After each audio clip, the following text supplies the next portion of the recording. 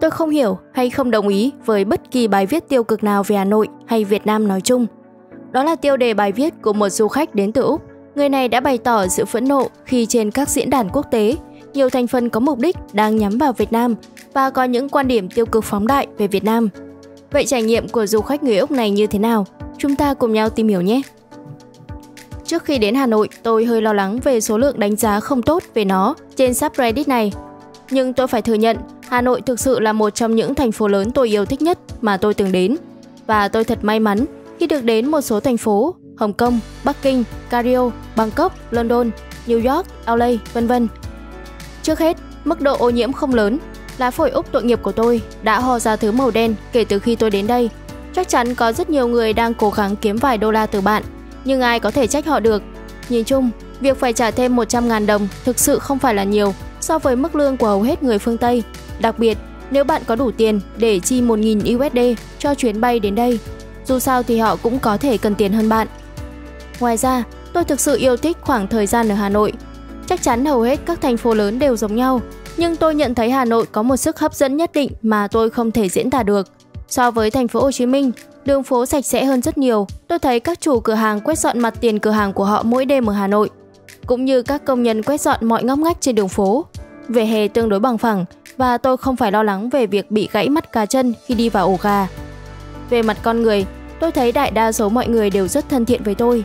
Tất cả những gì bạn phải làm là mỉm cười với họ và họ sẽ mỉm cười đáp lại. Nếu bạn nỗ lực tham gia vào một cuộc trò chuyện và đặt câu hỏi cho mọi người, hầu hết đều vui vẻ trả lời Tôi chưa thấy có một người nào ở Hà Nội không sẵn lòng giúp đỡ tôi khi tôi hỏi. Họ cho tôi lời khuyên về những nơi nên đến hoặc chỉ dẫn cách đi đến đâu đó. Tôi thích việc hầu hết các con phố mà tôi từng thấy đều có rất nhiều cây xanh hai bên dọc đường. Đó là một sự giải thoát tuyệt vời khỏi tình trạng ô nhiễm. Thức ăn thật tuyệt vời. Hôm nay tôi đã ăn món bún chả lần đầu tiên và tôi rất thích nó. Tôi chắc chắn sẽ nấu một ít cho mình ở nhà. Tôi đã ăn nhiều bánh mì đến nỗi đủ để nuôi một con ngựa trong một năm. Tôi đã ăn món phở trứng tốt nhất mà tôi từng ăn trong đời. Tôi thừa nhận rằng tôi không quá điên cuồng với các món ăn, nhưng tôi chắc chắn rằng những món ăn đó sẽ không làm bạn thất vọng với những gì họ có. Dù sao thì bài viết này cũng chẳng có ý nghĩa gì ngoài việc đưa ra một quan điểm đối lập với tất cả những điều không hay mà tôi đã nghe về Hà Nội. Về mặt Việt Nam nói chung, nếu bạn mong đợi đất nước này giống như đất nước phương Tây giàu có mà bạn đến, hãy thử nhớ số lượng các cuộc chiến tranh mà đất nước này đã trải qua trong lịch sử rất gần đây và những ảnh hưởng của nó đối với nền kinh tế và đất nước của họ. Thật ngu ngốc khi áp dụng tiêu chuẩn tương tự ở nước bạn vào Việt Nam. Tôi nghĩ người dân Việt Nam thật đáng kinh ngạc khi đã trải qua tất cả những điều đó nhưng vẫn sẵn sàng chào đón người nước ngoài đến đất nước của họ với vòng tay rộng mở và nụ cười rạng rỡ. Nếu bạn cảm thấy thoải mái hơn khi ở quê nhà, hãy về nhà và giữ kín ý kiến tiêu cực của riêng mình. Gửi tới tất cả những người Việt Nam trong subreddit này, Cảm ơn vì lòng hiếu khách và chia sẻ về đất nước tuyệt vời của bạn với tôi. Tôi chắc chắn sẽ trở lại để biết thêm. Chúc tất cả các bạn luôn được yêu thương và bình an. Đó là một ý kiến của một du khách, nghe có vẻ như là một cô gái người Úc. Và tất nhiên, không phải ai cũng đồng ý với ý kiến của cô gái này. Chúng ta sẽ cùng nhau tìm hiểu xem những góc nhìn khác của dân mạng quốc tế bên dưới phần bình luận như thế nào nhé.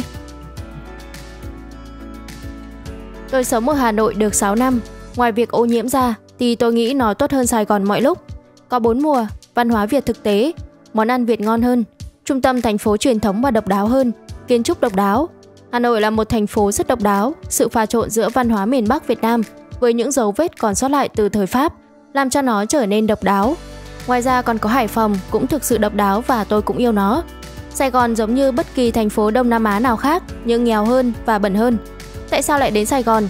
khi bạn có thể có được trải nghiệm tương tự nhưng lại tốt hơn và phát triển hơn ở Bangkok, hoặc gần như bất kỳ thành phố Đông Nam Á nào có khí hậu và lối sống tương tự. Khi nói đến Hà Nội, bạn thực sự không thể tìm thấy nhiều thành phố giống như vậy. Chắc chắn miền Nam Trung Quốc sẽ có khí hậu tương đương, nhưng vì cuộc cách mạng văn hóa ở các thành phố Trung Quốc vào những năm 60 thiếu văn hóa, dẫn đến tất cả các khía cạnh độc đáo của chúng đã bị phá hủy và tất cả các thành phố của chúng đều có nét giống nhau. Tuy nhiên, Hà Nội không chỉ giữ được nét văn hóa mà còn có sự pha trộn độc đáo giữa văn hóa Việt và Pháp mà không thành phố nào ngoài miền Bắc Việt Nam có được.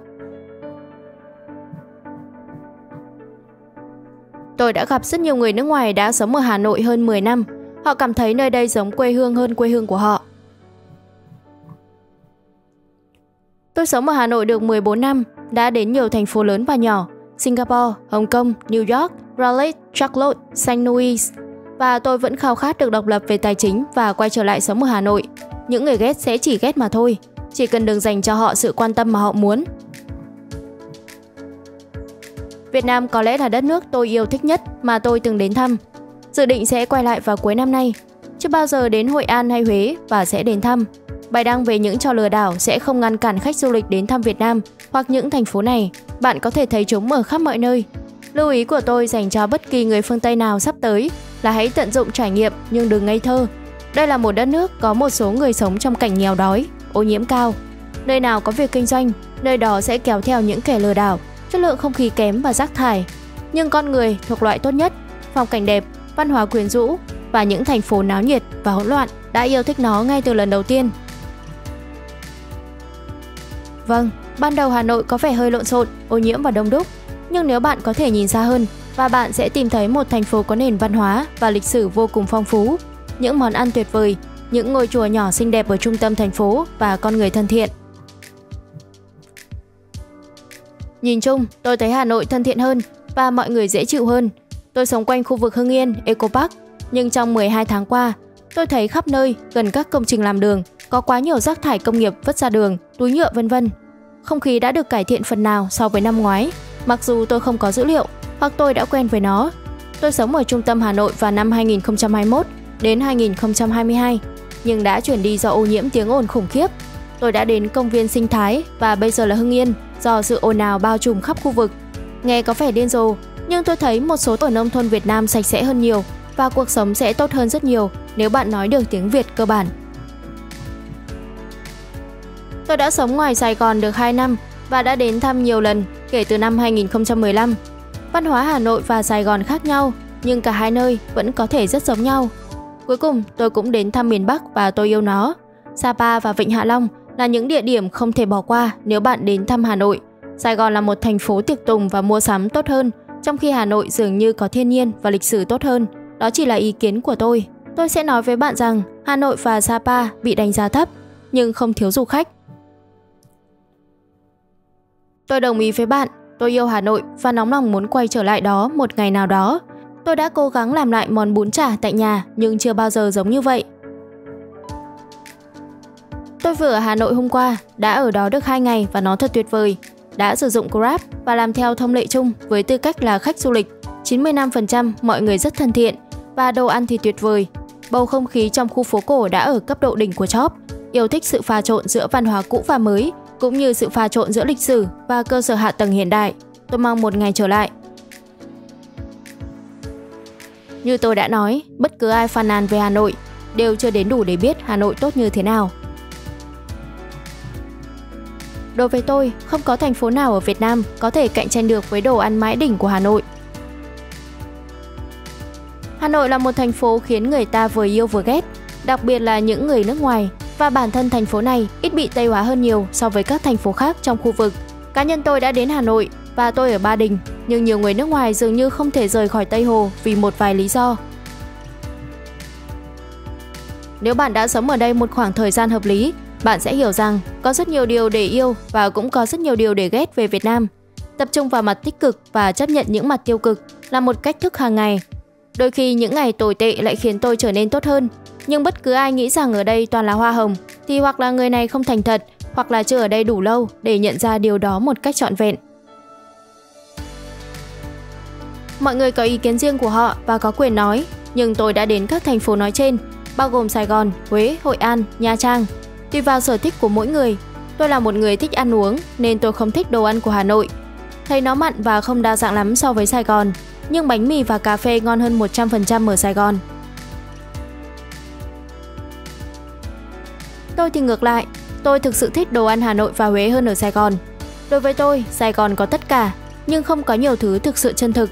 Đồ ăn đầy đường và hầu hết tôi không thể nếm được vị umami thực sự vì vị ngọt quá mức. Họ có phiên bản Sài Gòn cho tất cả các món ăn từ các vùng khác của đất nước. Bún bò Huế ở Sài Gòn thì ngon, bánh khọt ở Sài Gòn ở mức trung bình, phở ở Sài Gòn quá ngọt, vân vân. Sài Gòn có bánh khọt ngon hơn và có thể có cả cốm, nhưng nước mắm ở cốm cũng quá ngọt so với khẩu vị của tôi.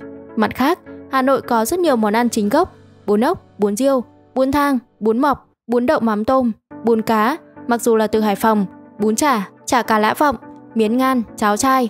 Món phở ngon nhất tôi từng ăn ở Việt Nam là phở gà ở Hà Nội. Bánh cuốn tôi ăn ở Hà Nội ngon hơn bất cứ thứ gì ở miền Nam. Món cocktail quá đỉnh, số lượng cocktail mang hương vị đặc trưng của Việt Nam tôi đã thử ở Hà Nội, khiến tôi nhận ra sự sáng tạo của những người pha chế này. Tuy nhiên, loại cà phê ngon nhất tôi có là ở Huế. Cà phê sữa ngô với một chút bỏng ngô caramel ở trên. Tôi nghĩ văn hóa cà phê ở Hà Nội hơi kém. Hoàn toàn đúng, mọi người có quyền đưa ra ý kiến của mình.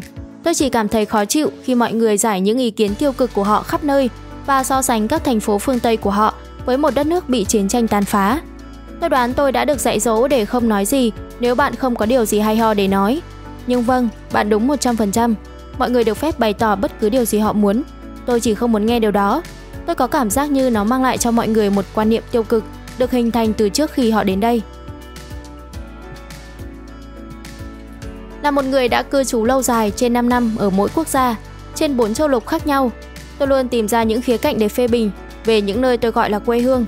Paris chỉ có vẻ đẹp tuyệt khi được nhìn qua con mắt của một khách du lịch. Mỗi người đều có quyền nói và có quan điểm của họ, cũng như bạn có quyền có quan điểm của mình. Tuy nhiên, gọi Hà Nội ô nhiễm không phải chỉ là ý kiến, đó là sự thật không thể chối cãi. Chuẩn rồi, khi bạn thực sự sống ở một nơi và nhìn thấy phần dưới của nó, bạn thường có cái nhìn khác, hoặc ít nhất là sắc thái hơn về nó.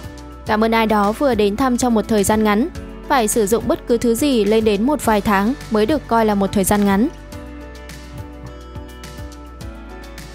Ồ vâng, tôi sẽ không phủ nhận tình trạng ô nhiễm là khá khó chịu, nhưng đối với tôi, nó chỉ là một phần thôi.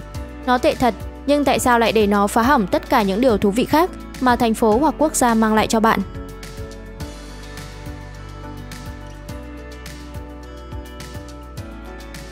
Có 12 triệu khách du lịch nước ngoài đến Việt Nam vào năm 2023. Hãy so sánh con số đó với số lượng bài đăng tiêu cực mà bạn thấy và bạn sẽ nhận ra rằng thực tế chỉ có 1% rất nhỏ số người phàn nàn. Tuy nhiên, chưa đến 5% số khách du lịch đó sẽ quay trở lại. Đó là một thế giới rộng lớn, có rất nhiều thứ để xem. Tại sao luôn quay lại cùng một nơi? Tôi đã đến Việt Nam hai lần, rất thích, nhưng có lẽ tôi sẽ không quay lại vì ngân sách du lịch của tôi không phải là vô hạn. Đồng ý, vừa quay lại, đã có khoảng thời gian tuyệt vời, nhưng sẽ không quay lại, quá nhiều nơi khác để xem.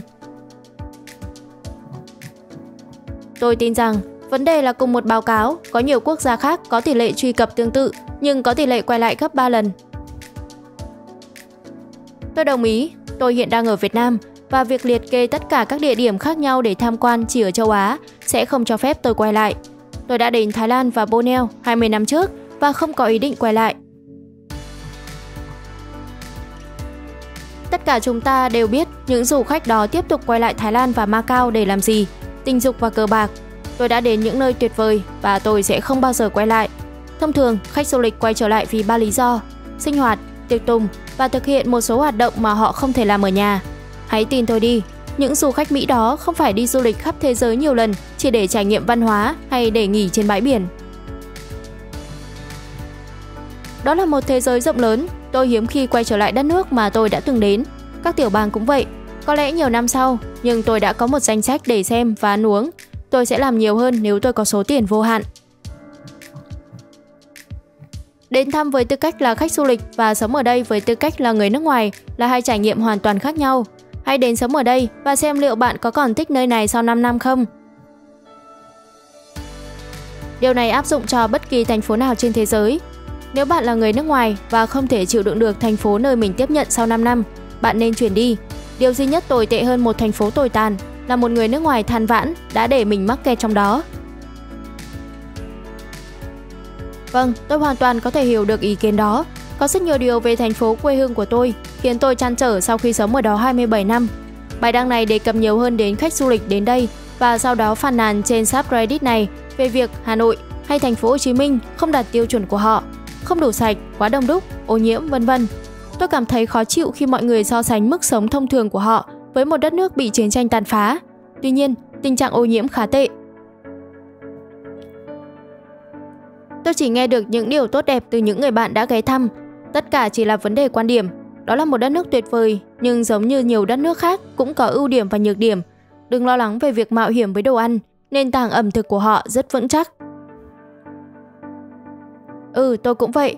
Tôi cũng chỉ nghe được những điều tốt đẹp từ bạn bè tôi. Chỉ có những khách du lịch đỏng đành và thích khoe khoang trong diễn đàn này mới nghe những điều không hay như kiểu Wow wow wow, xe máy ổn quá. Tôi phải đi vòng qua đồng rác. Một người lạ hoàn toàn không quỳ xuống và muốn làm thân ngay khi nhìn thấy tôi. Trên đây là các ý kiến trái chiều của dân mạng quốc tế và có thể thấy ý kiến tiêu cực đến từ du khách thực sự sẽ ít hơn những thành phần cố tình phóng đại những tiêu cực của Việt Nam với những mục đích chính trị khác nhau nhằm hạ bệ uy tín của chính phủ Việt Nam. Những thành phần này càng ngày càng hoạt động mạnh mẽ hơn trên mạng xã hội và khắp các diễn đàn. Mặc dù Việt Nam chúng ta có nhiều nhược điểm và cần phải khắc phục, nhưng nó không đến mức tồi tệ như địa ngục như một số kẻ miêu tả. Và thủ đô Hà Nội luôn là mục tiêu mà những kẻ trồng phà nhắm đến.